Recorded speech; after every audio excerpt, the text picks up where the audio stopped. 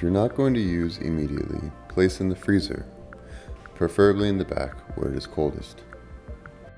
Once you're ready to prepare, thaw in room temperature water.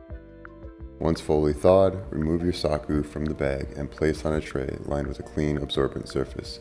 Pat off any excess water and you're ready for slicing. For this first half, we cut our akami saku on a bias at about a quarter inch thickness. Transfer your sashimi to your platter. And don't be afraid to make adjustments to your plating. For the second half of saku, we covered our saku in toasted sesame seeds and then seared the outside. You can see our akami searing video on our YouTube channel.